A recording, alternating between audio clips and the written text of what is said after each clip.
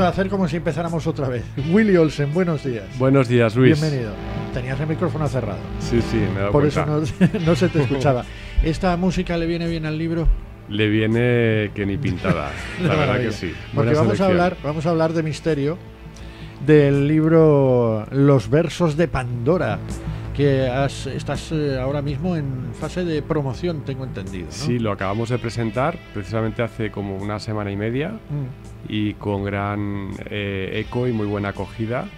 Es un, es un libro, es una novela histórica eh, y de misterio, a pesar de que el título aparentemente no tiene nada que ver. Sí, porque no invita precisamente el libro a, a encontrarse con algo misterioso y de, de, poco menos que de ciencia ficción, ¿no? Eh, Bueno, el subtítulo sería eh, Los versos de Pandora descubre el poder del nombre de Dios. Ah, Y realmente es una novela, novela histórica que gira una trama en el siglo XII con una trama paralela en el siglo VI antes de Cristo que gira en torno al descubrimiento de un misterio que es el poder del nombre de Dios.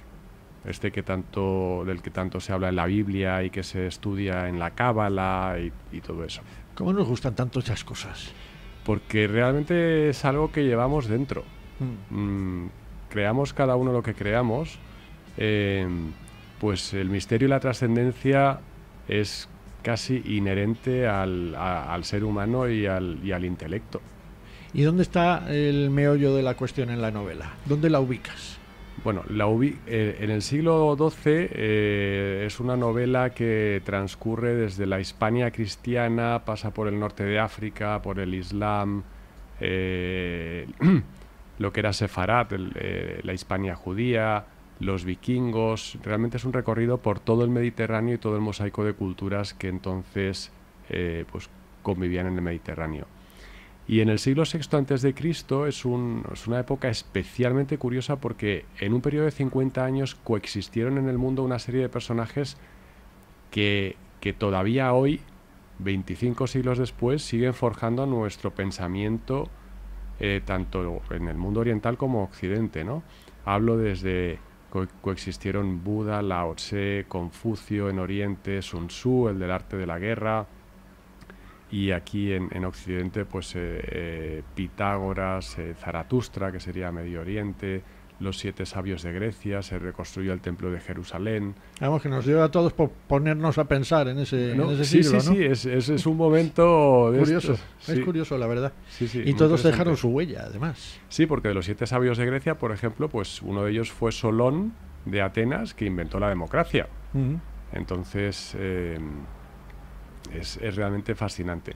Oye, te has dedicado a tu libro en la revista Año Cero, que se dedica a estas cosas de los enigmas de- Sí. y demás. Un artículo en el que dice un enigma de nueve siglos al descubierto. ¿Lo pones al descubierto? Eh, sí. No eh, vamos a. a No, no, no, se puede, hablar, se, puede, se puede hablar perfectamente. Digo, no sé Además, yo si podemos decir algo. Por supuesto que se puede. Eh, hay una ermita templaria en, en el cañón del río Lobos, la ermita de San Bartolomé, en Ujú. Soria. Sí, Eh, muy bonita además. Es, es- sí, es un entorno natural muy, muy bonito, muy especial. Y esta ermita tiene una particularidad que tiene una serie de canecillos, en concreto pues unos 112 canecillos, que son como unos relieves que decoran justo donde el- acaba el tejado y se une con, eh, con la pared, ¿no? Ujú. Y, es- y- y estos canecillos pues tienen unos relieves de lo más extraño. Eh, pues algunos están vacíos, otros eh, pues, simplemente están como enmarcados en blanco y luego hay todo tipo de figuras. eh, o sea, hay que conocerlo y verlo para realmente creérselo, ¿no? Hay figuras de todo tipo, desde animales, caras demoníacas, parejas, cabezas de distintos tipos. Em, y estos canecillos, que además no hay ningún otro sitio donde se hayan repetido estos motivos, eh, pues son, han sido motivo de especulación desde que se construyó la ermita en el sig- finales del siglo XII o principios del XIII, que no se sabe exactamente, eh, pues nadie sabe a qué vienen. Y entonces, pues gracias al quizá al trasfondo y al contexto que me permitió la investigación sobre el nombre de Dios que, que desarrolla la novela de los versos de Pandora, pues pude empezar a otorgar un significado a ciertos canecillos, eh, establecí un vocabulario elemental que me ha permitido descifrar el significado de todas las tiras que realmente pues, son, son unos mensajes y unas instrucciones sobre el uso de ese lugar. ¿Y qué dicen? Bueno, pues hay un primer, eh, digamos, hay una invocación de apertura y una invocación de cierre con la que se debe eh, siempre iniciar cualquier tipo de trabajo de invocación del nombre de Dios o espiritual que se realice en ese, en ese emplazamiento. Y luego distingue, luego hay, hay, otras tiras, hay por ejemplo hay un conjuro de protección, eh, hay otros de advertencia que dicen que bueno que eh, este poder se debe utilizar siempre eh, pues con responsabilidad y básicamente distingue dos niveles de ritual uno que sería como una especie de iniciación a consagrarse uno pues a, a, ser capaz de manejar este, este poder del nombre de Dios y el segundo sería ya un ritual avanzado que es muy interesante porque habla de manejar unas capacidades que rivalizarían pues con un mago Merlín o una cosa así, ¿no? Todo eso en los canecillos. De... Todo eso son instrucciones que mm. vienen en los canecillos. Ahora yo te pregunto una cosa, a lo mejor te pongo en un, en un brete. ¿No, ¿No os dais cuenta todos los investigadores, toda la gente que investigáis estas cosas, que a lo mejor eso lo pusieron los que lo hicieron en su momento porque sí y no tenía ningún significado en realidad? Totalmente, podría ser eh, exactamente así. Pero cuando... Eso merecería otro libro también, aparte, claro. Bueno, podría... Eh, lo que pasa es que, claro, son 112. No es que estemos hablando de, interpretar un grupito de 12 figuras y ya está, ¿no? y son 112 distintas. Son 112 eh, en total, eh, agrupadas en como en 13 tiras, ¿no?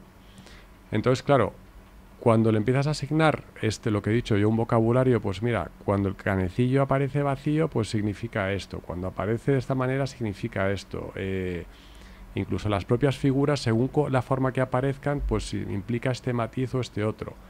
Y, y encaja los significados en, en, todas las tiras, pues entonces eh, dices, hombre, no sé si es exactamente así, pero en algo, me estoy acercando. Algo, tiene que ver.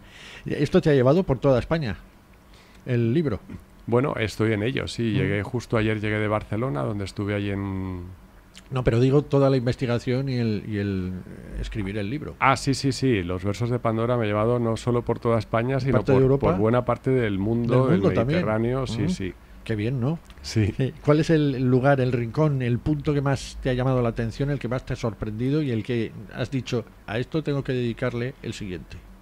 Pues eh, un punto que bueno transcurre parte del libro también transcurre ahí, que es muy interesante es Jerusalén, precisamente.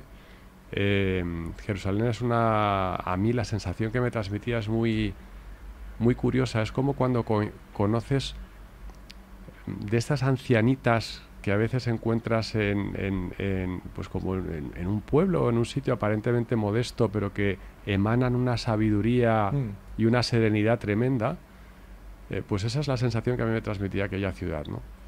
Y siempre me sorprendió cómo ese punto del planeta se ha convertido en, el punto de mira y en el eje eh, coaxial de los tres movimientos religiosos pues, más importantes que, casi existen en, en, el mundo occidental o en el mundo. ¿Y en, motivo de contiendas y disputas. Y en motivo de contiendas y disputas, sí. ¿En qué época le pillaste? ¿Cuándo fui? ¿Había calma, paz y tranquilidad? Sí, bueno, ahí siempre hay inquietud, eh, pero irónicamente es un lugar bastante seguro, mm. precisamente porque... Mm, pues todo el mundo va armado. Entonces es que hay que ser bastante osado para intentar hacer cualquier cosa. Teniendo en... cuenta que estamos hablando del ejército israelí, cualquier cosa que hagas a lo mejor se mosquean y tal, pero, bueno. Todos son soldados y además eh, eh, pues los van eh, estén en activo de permiso de la reserva, pues van todos van armados. Todos son, como he dicho, todos son soldados. Sí, sí, además en Israel, como todos tienen que pasar por su... Tres años de servicio militar. Ellos ¿eh? y ellas, y ahí no se libra nadie. Aquí quería yo ver a muchos que, se plantean ahora que voy si volver a la Sí, además es un servicio militar activo, no es como que puedas aquí pues, estar ahí haciendo guardias y ya está, ¿no? Eh, bueno, vamos a hablar de ti, Willy. ¿Quién eres? ¿De dónde vienes y a qué te dedicas? Bueno, yo, yo nací en Tenerife. Mm, qué eh, suerte. Soy, sí, soy, soy español. Creo que además España es eh, de los mejores lugares del mundo para vivir. Y lo dice quien se ha recorrido medio mundo y, lo puedes decir con total propiedad. Sí, sí, sí. Me he recorrido eh, buena parte del mundo. Mm. Y yo he estudiado eh, una licenciatura en, publicidad eh, y relaciones públicas, también he estudiado empresariales, he estudiado comunicación y eh, eso en cuanto, digamos, a mi formación estándar, ¿no? Luego, por ejemplo, para poder escribir los versos de Pandora, que es una novela histórica, pues he tenido que estudiar una barbaridad de historia y además me he dado cuenta que que la historia es como un colador, desde lejos parece sólida, pero según te vas acercando es que está lleno de huecos. Y, entonces pues ha habido que estudiar muchas cosas desde distintos puntos de vista, acudiendo a distintas fuentes para hacerlo con, rigor. ¿Cuál es la parte que más huecos presenta la historia? Pues em, realmente toda, obviamente cuanto más atrás te vas, pues eh, menos documentación hay. Pero yo, bueno, eh, planteo un ejemplo si incluso hoy en día, en nuestro presente, con todas las noticias que circulan a nuestro alrededor, no somos capaces de dibujar tampoco un, panorama relativamente exacto de todos los intereses y, lo que, que está confluyendo en la realidad, pues imaginemos si empezamos a trasladarnos hacia atrás. Y obviamente hay constancia de los hechos, de los personajes relevantes, de la firma de tratados, de, las guerras, de los resultados de las guerras, porque son como incuestionables. Pero, pero todas las motivaciones, lo que lleva, eh, lo que enlaza estos acontecimientos, las motivaciones de la gente, y, eso no, no, está realmente tan claro ni tan definido, ¿no? ¿Y ¿Te vas a continuar por el terreno de lo, de lo enigmático, del misterio, eh, de solucionar jeroglíficos y demás? Dices para futuras... Para futuras obras. Bueno, más o menos. ¿Te ha gustado? Sí, es, fascinante, pero bueno, si lo consigo resolver, porque claro, si no, tampoco... A mí no, me gusta, hay muchas novelas, con todos los respetos, que pueden ser muy interesantes, eh, que giran en torno a misterios y eso, que al final pues el misterio acaba quemado, derruido, hundido o lo que sea, ¿no? Yo aquí he querido que el misterio que planteo se plantea, se encuentra y se estudia en profundidad. No habrá segunda parte. no, no, no. Por eso. Son dos tomos, los versos de Pandora son dos tomos, pero debido, debido al volumen de, la obra, porque son como varias novelas históricas en sí misma, y, además se trata este misterio en profundidad. Pero es una obra completa, es decir, con principio y fin. Mm. No hay segunda parte ni, ni nada de esto. Ni la habrá. Ni la habrá. ¿Y cómo lo está recibiendo la gente? Pues con sorpresa y con, muchísimo interés y, y, la verdad es que la acogida está siendo excelente. Mm. Pues me alegro de ello. Y a partir de ahora espero que la acogida sea mayor. Después de que la gente haya puesto la oreja y haya dicho, porque hay mucha gente que le gusta estas, estas cosas. Sí. Es más, en Guadarrama periódicamente hay unas eh, jornadas dedicadas a todo este el misterio y todas estas cosas que a lo mejor cualquier día te echan el, guante y dicen ven para ah, acá a pues dar una conferencia. Pues encantado. Mañana mismo tienen una, sin ir más lejos. Willy Olsen, eh, muchísimas gracias por haber venido y que haya mucha suerte. Pues muchísimas gracias por invitarme a presentar los versos de Pandora. Volveremos a estar en contacto para la próxima ocasión. Genial. Gracias.